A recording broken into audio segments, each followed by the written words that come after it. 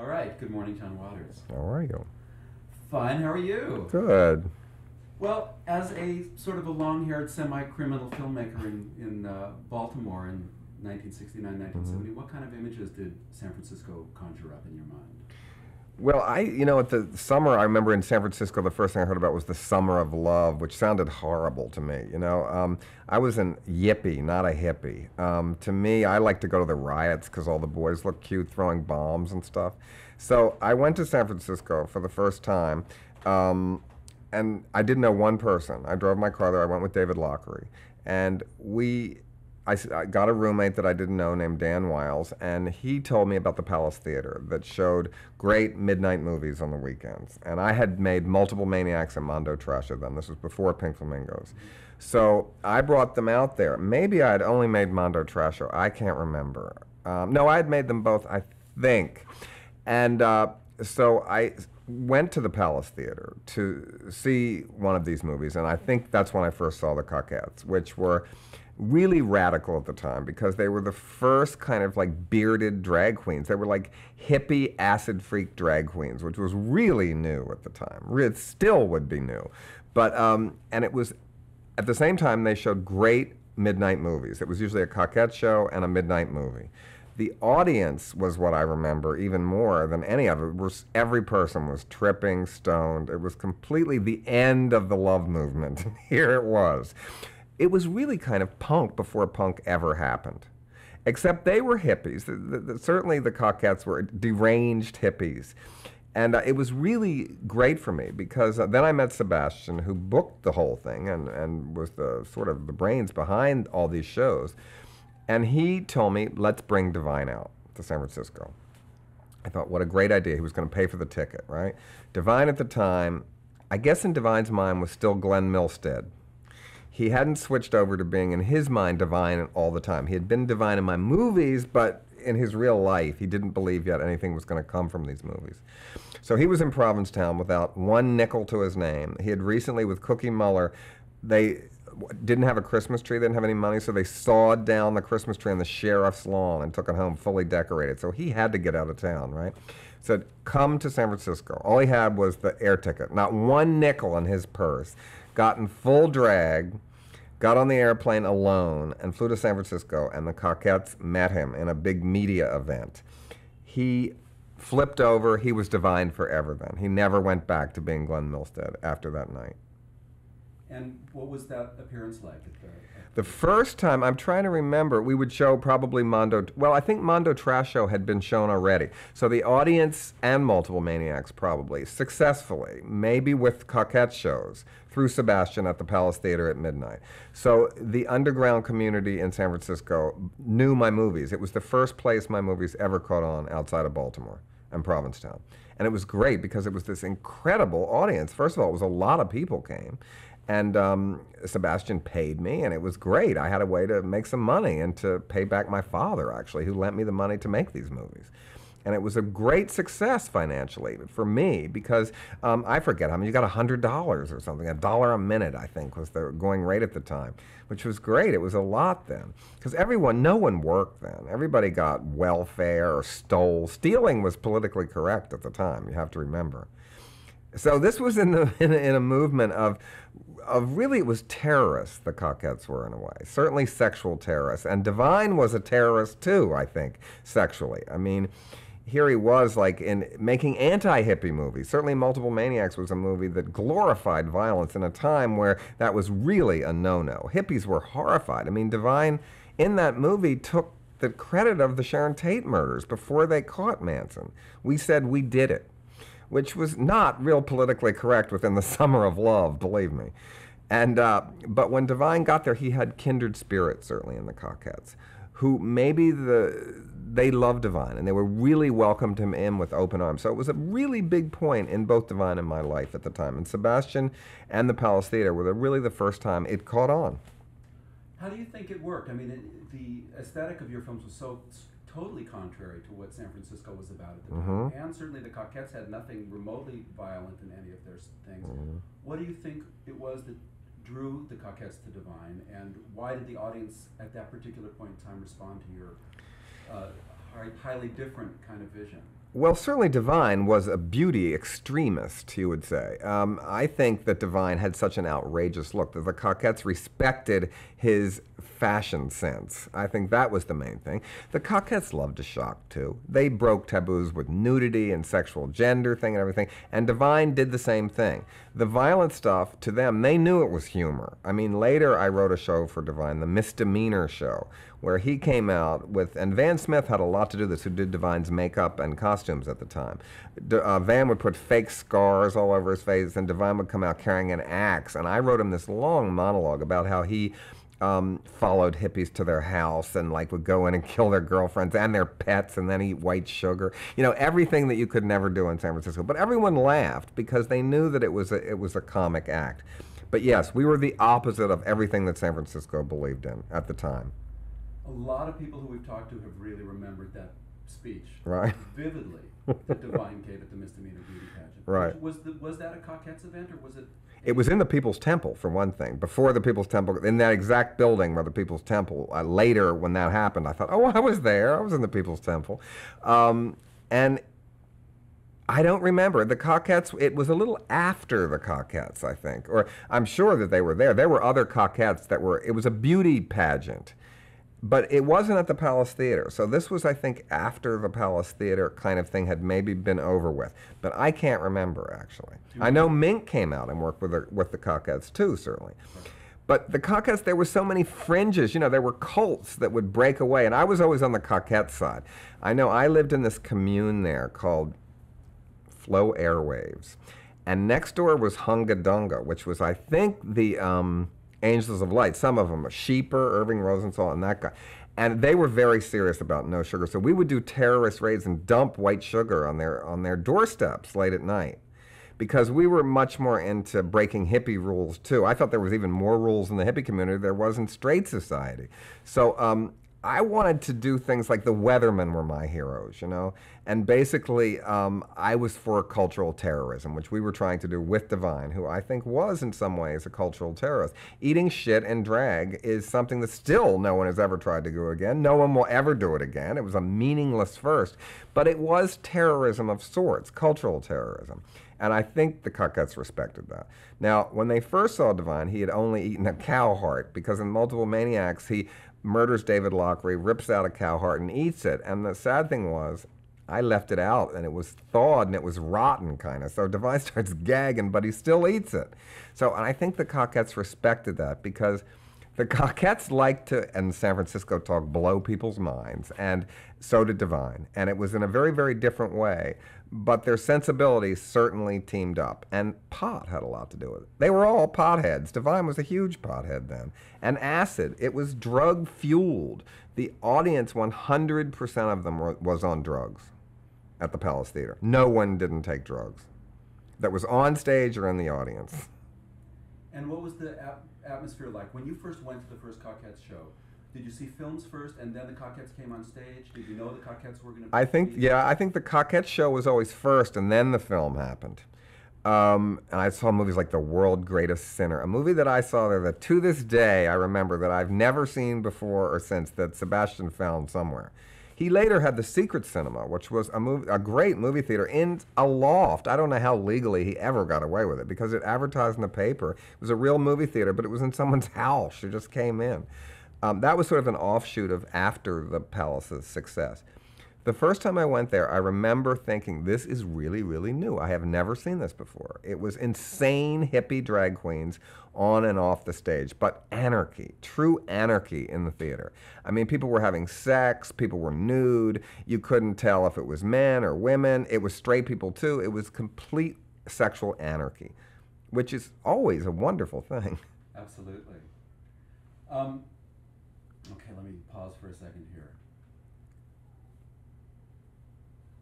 You saw early shows, Cockette shows, and Hibiscus was in the shows at that point still. Mm-hmm. I guess I probably they were. I didn't get there. I'm sure I didn't see the first Cockette show. When I arrived to the in San Francisco, the Cockettes were already known because I went to was taken to their show. So it wasn't like the first one or anything. But I don't know. I can't remember when or. Did you know Hibiscus? Did you meet Hibiscus? I met Hibiscus. I didn't know any of them when I first went there. Um, I did know Hibiscus. I knew better, certainly, Sylvester, I think. I knew very well. And Sylvester used to come over to our apartment and really tell me about his dreams. He, he was the one with the really the most talent, probably, of all the Cockettes. And I'm not saying that in a mean way, but certainly Sylvester could really, really sing. But I knew Tahara, I knew Scrumbly, I knew all of them. And then we would see him at the Stud. The Stud Bar was the, and that sounds like some leather bar. It wasn't a leather bar. It was a hippie gay bar, and it was the first hippie gay bar ever, which was pretty radical, where gay people weren't square anymore. They finally they took drugs. They looked like lunatics. They had sex in the bathroom. Uh, you could hang out with girls. You could do you could break all the rules of gay society. And the stud was the hangout for the Cockettes also. So not only would I meet them at the palace, you would also socialize them. We went to um, Cockette parties. There was, um, and we stole together. Everybody stole. It was really politically correct to shoplift and to steal things for show. I stole film for my shows. They stole sets, costumes. Everybody did. It was a very time of complete anarchy in San Francisco. And most, many people got ATD, aid to the totally disabled. I was turned down. They told me I was insane, but not permanently. So all I got was welfare. But I remember once getting an emergency food voucher and buying like $100 worth of crab meat with it and having the people, the women behind me in the supermarket line flipping out, rightfully so, and going crazy. But in those days, the welfare workers would say, oh, don't put that down. They were cockettes. It seemed like it was a, a city, very, very radical city at the time. And it still is a great radical city. But you could live there. I don't know how anyone lived. No one I knew worked ever we worked on our own projects. We were busy, but work was not exactly. Who could get a job looking like that? I mean, everybody looked fairly insane at the time. I mean, it's so dramatically different from now. I mean, the whole notion of being willing to be categorized as totally insane by the government is something that most people would not consider a viable option now. Well, getting ATD was like winning the Oscar in San Francisco. When you got it, because I know people that got it then that are still on it. You can't not get it. You can't be cut out of, of ATD. And, and I'm not baiting this. I shouldn't say that because I think most of the people, if they still get it, probably do deserve it. Um, but I remember having to go to a shrink and fake the whole thing and acting insane and everything. And I blew it because at the end, he said, if you could be anything in the world, what do you want to be? And I stupidly said a writer, and then he knew I was lying. I should have said, you know, an astronaut or you. I should have said, you know, I'm always thinking I was just the worst wrong answer I said to him. But um, getting ATD was a cultural grant. It was a grant, actually, from the government to continue your insane lifestyle in the arts in San Francisco. So ATD was a good thing. It just maybe wasn't what the government originally planned for it. Was coming into San Francisco in that time, in that environment, in akin in any way to like going through a looking glass? I mean, was it that different of a world? Was it that isolated from reality? Well, I was coming from a very different world. Certainly, in Baltimore was its own insane world of um, drugs and drag and straight boys and terrorists and everybody hanging out together. So it was a, the West Coast version of it, certainly. But I went there to break those rules of hippie rules. You know, hippies always got on my nerves. They still do. New age, I loathe. You know, um, keep those crystals away from me and keep that brown rice away from me in the old days. Um, so basically, I like to defy hippies, and but that was the key to any success I had is being politically incorrect. They didn't have that term then. Within the hippie, making fun of hippie values, which is certainly what Multiple Maniacs and Pink Flamingos did. But that was the audience, of course, was hippies, but lunatic hippies, not the liberal kind. Were you aware of the the tension that happened with the Kaliflower people?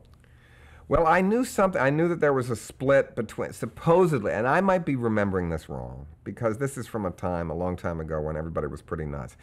That the supposedly the Angels of Light said that they started it. Then it became the Cockettes. It turned too commercial, if you can imagine such a thing. And the Angels of Life went off in the in the light went off in the non-commercial way, and the Cockettes continued to be the commercial aspect of it. Supposedly that they stole it from the Angels of Light. I was probably on the cockette side. I was more of a cockette hag than an angel of light hag because the angel of lights were like too serious about being hippies and they had, they were so politically correct in the hippie world that I enjoyed baiting that actually.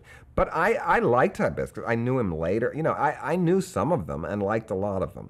but it was you know, I really wanted to live in the Spahn Ranch then. So, so to me, they were two good hippies. I liked bad hippies. And I think the Cockettes were the bad ones and the Angels of Light were the quote good ones as far as like hippily correct. Who did you get to be best friends with within the Cockette circle? Did you socialize with them? I socialized with them. I know I was never best friends with any of them. I, I think Tahara, I remember very, very fondly. Goldie Glitters, who was Divine's friend. Goldie hung out with Divine a lot, so I knew Goldie. I knew Scrumbly very, very well at the time, but I think who I who I got closer to was probably Sylvester, because Sylvester I remember used to come over to our house when I lived with Dan Wiles and have dinner and talk about his plans, and um, we used to talk about music all the time because we liked the same kind of music. But I knew them all socially. Certainly Grasshopper, who who wasn't really a cockette, but he was in the criminal aspect that I liked, that hung around the Cockettes. Um, it was a whole scene that everybody joined to. My dearest friends in San Francisco were certainly Giles and Timmy, and unfortunately Timmy is no longer with us, but Giles lives in San Francisco and took all the photos of Divine that were in my book at the Cockettes uh, reunion. Uh, you know, the first time they met, the Cockettes with Divine. David Spencer, who we all lived with at the time. Um, but Mink came out. She was in the Cockettes. Uh, Fayette, I remember very, very fondly. Um, and you know, I see their pictures you show me, and I completely remember, but I get everyone's name mixed up because I really haven't seen these people for almost 30 years, I guess. Did Sylvester consider himself a cockette? Yes, but Sylvester thought of himself as probably, in not a mean way ever did he say this, but that he knew he was going to go beyond the Cockettes. He was going to be more than the Cockettes. That he he was the most talented one. That was the cliche. Everybody knew that Sylvester had the most talent of all the Cockettes, or that was the legend. And uh, he, he was proud of being the Cockettes, but I think it became the Cockettes and special guest star Sylvester. So I think Sylvester probably always thought he was a little bit bigger than the Cockettes, or was going to become that. But they like Sylvester. I mean, I mean the Cockettes. Very. I never heard them say anything bad about Sylvester. Um, they were proud because they knew that he would come out and do these torch numbers, these solo numbers that were were truly amazing. Did they fit in with the rest of the show? Yes, they did fit in with the rest of the show because Busby Berkeley was, I think, the hugest influence on the Cockettes. And I remember when I first saw those movies, they were they were very new to me when I first saw them. They were a big revival of Busby Berkeley. So these were insane Busby Berkeley ones, and then it would stop with one big solo number. And uh, no, it made the show very um, even more. The professional aspect of it was seemed to be Sylvester. Um, hold on, let me take a little pause here. Do you remember which? Would you remember by names any of the shows that you might have seen? If you say them, I would remember maybe. Well, Tropical Heat Wave, Hot Voodoo. Hot Voodoo, I think I saw. Tro- I I might have seen Tropical. I mean, I, I the ones I remember, the ones later that Divine did, with like Vice Palace, and uh, but certainly give me some more names. Well, Divine performed in Journey to the Center of Uranus. And I think I was not in San Francisco when that one was because see, I would go back and try to get the money for the movies in between, or go work in Provincetown in the summer, so I could get unemployment to also get me out to, back to San Francisco. Did the rest of your crowd hang out in San Francisco most of that period of time, or was there also a lot of back and forth? There was back and forth, but certainly Van Smith moved to San Francisco. Mink Stole lived in San Francisco. Mary Vivian Pearce came to visit me there with Danny Mills, but they didn't stay. Uh, who else? Uh, Vince Peranio, I don't think was there. Susan Lowe was there. Um, Van and Mink, I think, were the people that were there the longest time, and Susan Lowe came out there. When Divine came out for the Mondo Trasho screening, mm-hmm. he went back. It might have been Multiple Maniacs. I don't remember which one. I think it was Multiple Maniacs. I think they showed Mondo first, so everybody knew who he was, or maybe the other way around. I don't remember. Did he go back? I don't know. Probably. I think he just came for that weekend. But I don't remember. He might have just stayed because we just would do that. Just, oh, I like it here. Let's live here. But I, I don't remember. Do you remember what Divine? Okay. Oh, we forgot that. Hollywood, the big nipple. Oh, yeah, right. New York is the big apple, and Hollywood is the big nipple. Mm-hmm. Um, what was Divine's sense of the Cockettes at the time when he first met them? I think he was thrilled to be recognized, and they, they looked very much up to him when he first came there. He was like kind of this little legend that came, and they were really excited about it. And the, and the Cockettes were very welcoming and very, uh, they loved him, and he loved them right back because he had never had that support from this cult, really. And it was, we had a cult, and they had a cult, and it was nice for these weird showbiz cults to meet. Um, and I think he liked working them without me because I think um, that gave him something that people could say that he could do on his own. And when I wasn't making a movie, he continued to work and be involved and stuff. And I think that was very important to him.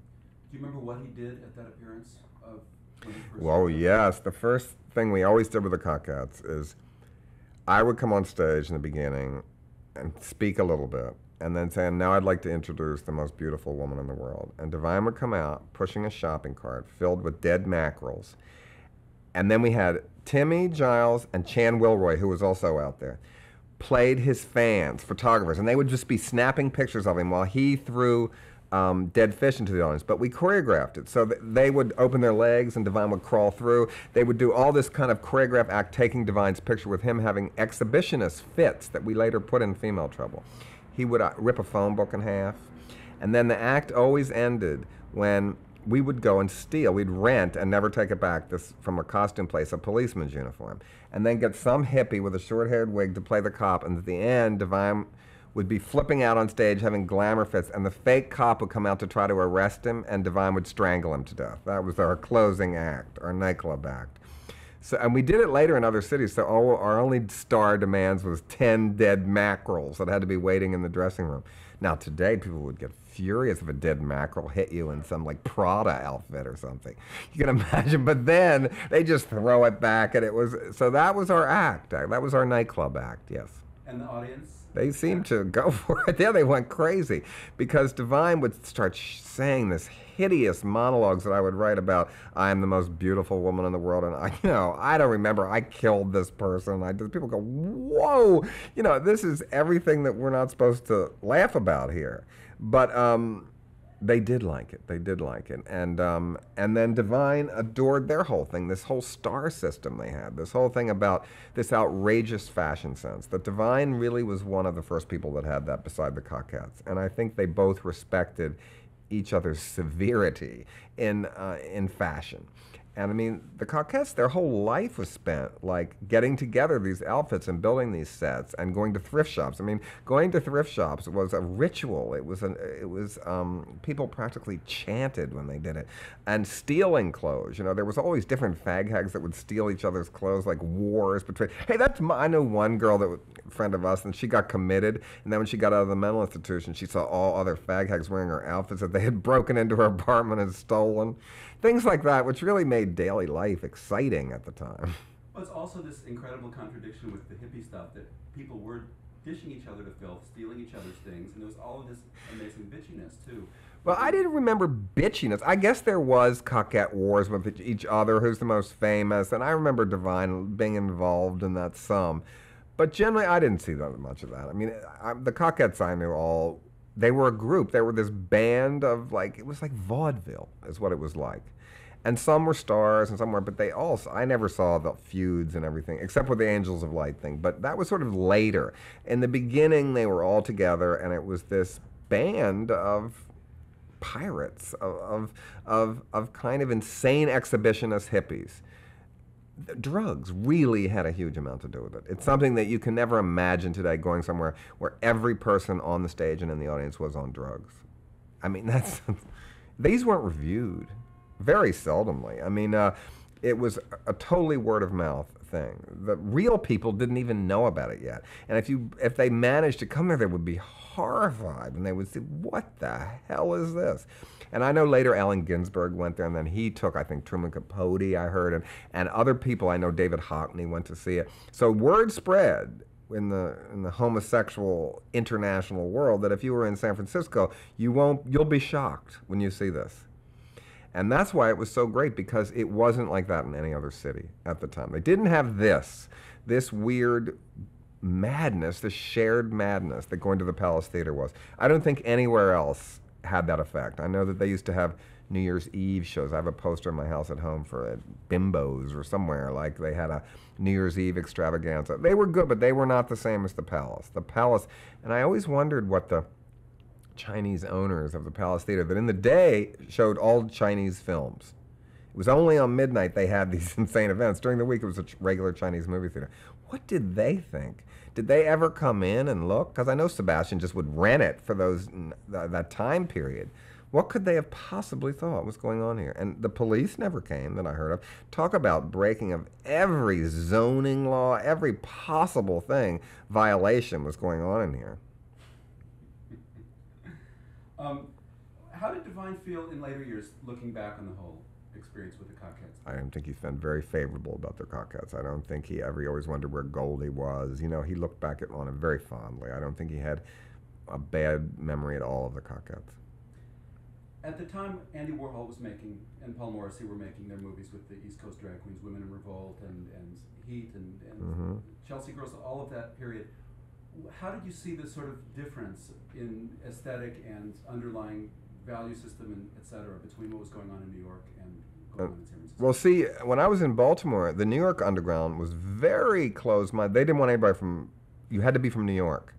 Nowadays, you can come from anywhere they like. But then I had, Mondo Trasho and Multiple Maniacs had never been screened in New York till after Pink Flamingos became a hit.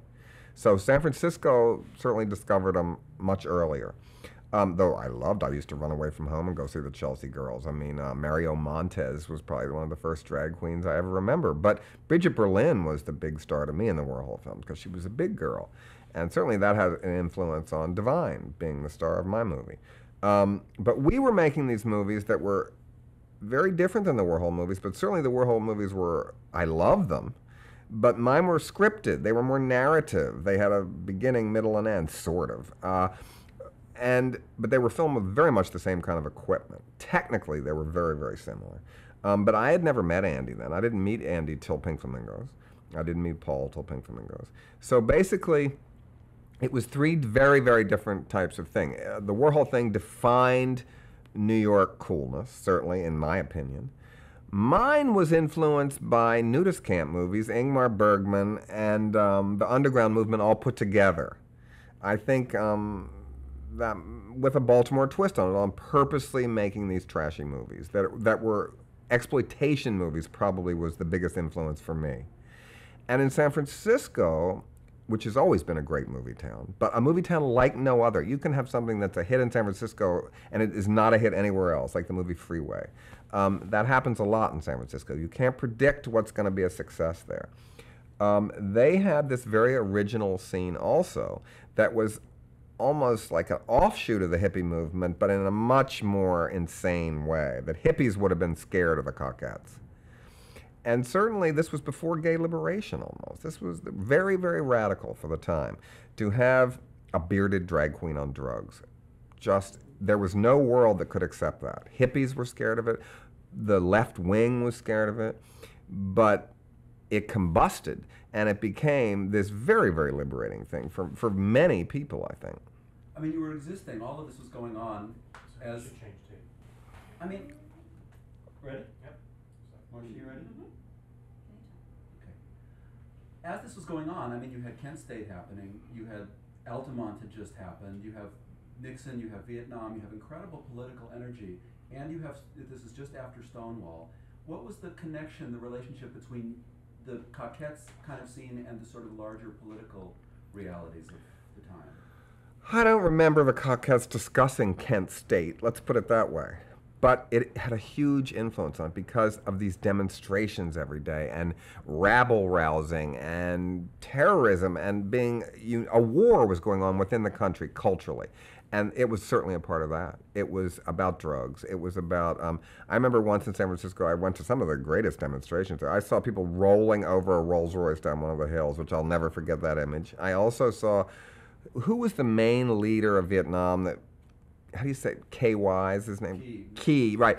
Well, he came out and spoke or something, and they had passed out literature how to say key sucks dicks in Vietnamese, and everybody started going, no, not that. It was like so insane. So it was humor had such a big part of demonstrations in San Francisco with the yippies and with everything that the Cockettes became, I think, had to be influenced by that, by the rabble rousing of the time. And they, just by walking down the street and going out and showing up in anything, was a political statement completely. It was the beginning of gay liberation. Did they get hostility from people on the streets? I mean, I'm sure they did. I mean, Divine, I've seen walk down the street and cause a car accident, like Jayne Mansfield in the Girl Camp, where people just like looking like this and rear-ending another car. Um, I don't know. In San Francisco, which is always probably the most liberal city, I, if they were ever gay bashed or anything, I have no idea. I can imagine that they, seeing Goldie Glitters just walking down the corner to get a pack, a carton of milk, might have been hassled in his life. But certainly in the times, I don't think the hippies hassled him. I don't think um, the Black Panthers beat up Goldie Glitters. I think that probably there was, you know, extreme straight people somewhere that might have. But I don't remember that being a hassle. I don't remember. Um, no, I remember going out to be a fashion show and a political statement and an act of courage. But I don't remember ever being frightened to go out in San Francisco with anybody ever. Tell me a little about Goldie. Well, Goldie maybe was not the most beautiful as a woman. Certainly, sometimes Goldie looked like a man still.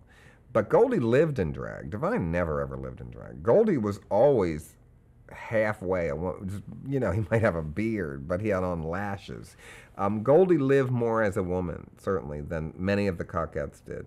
Divine didn't ever get in drag, except he might wear a pair of earrings and a janitor's uniform. That was Divine's look, and a day old beard and his hair shaved back like that, and a big diamond ring. Um, that was Divine's at home look. But Goldie was in plays with him and everything, and Goldie was a very dedicated cockette. Maybe he didn't have the greatest acting talent or anything, but you couldn't tell in the shows because they were so purposely cheesy and over the top and like exaggerated Busby Berkeley musicals. How can you know what's the difference between good and bad acting in them? But Goldie, I just remember as being always around a lot, always around, and um, was almost like Divine's. Not a fan, but but but Divine took Goldie under his wing a little bit. It seemed to me. Goldie may not remember it that way, but they were friends. I'm sure they argued, but they didn't compete ever. Let's put it that way. Well, actually, we talked to a choreographer Yeah. who choreographed the two of them in a number, and she said it was absolute hell. The two of them got in this unbelievable battle. Oh, they did? See, I wasn't around for any of those rehearsals because I never did a Cockette show. I was never involved in a Cockette's production ever. I was in the audience, and we were also the, a, a different act on the same bill, basically. So, oh, I can, I'm sure, believe me. But I, I never saw them fight. They, they always used to um, bicker, I think. But I never saw them have a real fight. But Do you remember anybody particular other than Sylvester who you thought was talented? John Roth. Hold that thought, and I'm just gonna do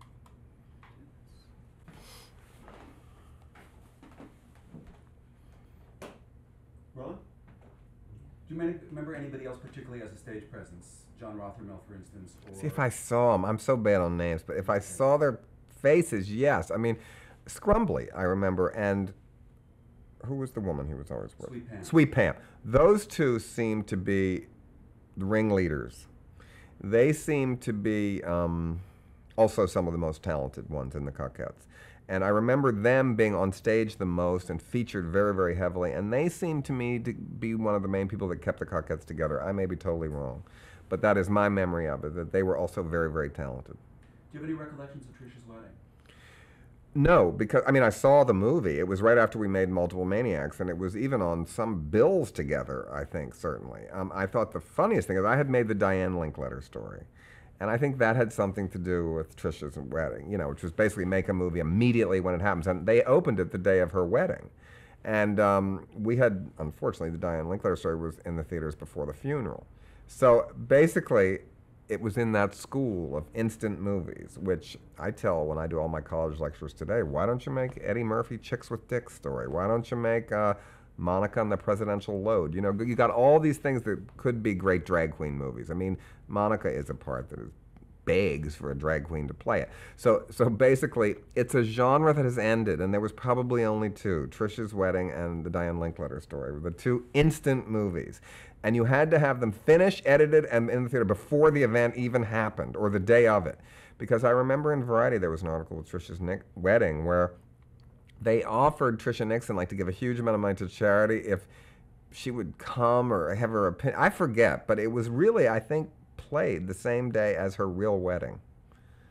that was terrorism. You see what I mean? That was basically something that the White House was humiliated by. Did you see Elevator Girls in Bondage? I saw it later. Yeah, Stephen Arnold. I knew kind of later. Michael Kalman. Oh, Michael Kim. I'm thinking of Stephen Arnold. I saw it, but was that shown at the Palace? I, I'm getting it mixed up. I guess I did show that at the. Elevator Girls was not shown at the Palace. It was wasn't. by Michael Kalman, and it was these elevator girls in a hotel going on strike. I did see it, but I don't remember if it was at the Palace or it was. Were the Cockettes in that? Uh, yes. Uh huh. Not as cockettes, but they were. But as their Yeah, yes. yeah. How did that period sort of come to an end? I mean, how did you see it sort of fading out or transitioning into what followed? It came to an end. What I remember is when the Cockettes came to New York. That seemed to end it for me because it was I was not there at their opening night because we were making a movie, maybe Pink Flamingos. I can't remember. But you know, I've heard all the stories about you know the big night, and everybody thought it was going to be a huge hit. And the Cockettes, you know, they never really rehearsed too well. So I think it was loose, let's say, maybe needed editing. And in New York, they weren't ready for that. They wanted, they thought it was going to be like an off-Broadway sh- review or something, maybe. And so I always heard that um, um, Taylor Mead yelled out, um, "What? Give me Jackie Curtis!" And somebody yelled out, "Gore Vidal, no talent is not enough." Uh, who knows? But then I heard the other nights it got good. Once they were here and they did it every night. I know Divine went on closing night. I never saw it in New York because I was, I guess, making Pink Flamingos or editing it or something. But it, it seemed to me that that ended it. Um, although I knew later that there, there was Angels of Light did stuff in New York, and I heard different things about them. And then I didn't hear much. And I used to go back to San Francisco and I push my other movies and always say, "What happened to that? I wish there was a re." And then somebody told me there was a reunion of the Cockettes, which I thought was great to know who was live. And um, I, and I think it's a really, really important thing that unless you are my age and lived in San Francisco, most people don't know about today. And it was a very, very influential thing for, I guess, two years. And two years is a lot when you're in your early 20s. Uh, it could be the maybe the best two years of some people's lives. Certainly, probably, I'm sure, were the Cockettes. There's a lot of young drag queens that are direct descendants of the Cockettes, and yet they don't know who the Cockettes were. I mean, hmm How do you think the Cockettes' legacy exists in the in The Co- Cockettes were the first hip drag queens. Drag queens were really square before that. And Divine was one of the first hip drag queens. Divine made fun of drag queens. Drag queens hated Divine because he would come out with a chainsaw and was fat and had like cutouts where his gut would hang out. The old ones wanted to be Bess Myerson and they would steal their mother's mink coats and try to, they were straight. They wanted to be rich women, in you know, and the Cockettes made fun of drag queens. I mean, they didn't shave their beards off. They um, they were hippies, and hippies always were against you know the middle class lifestyle. So they were the first drag hip drag queens, and I think that's why Divine was one of the first, and they respected each other for that of making fun of the whole idea of being a drag queen in the first place. You can't take yourself seriously and be any kind of queen. Even Queen Elizabeth has a sense of humor about herself. Maybe.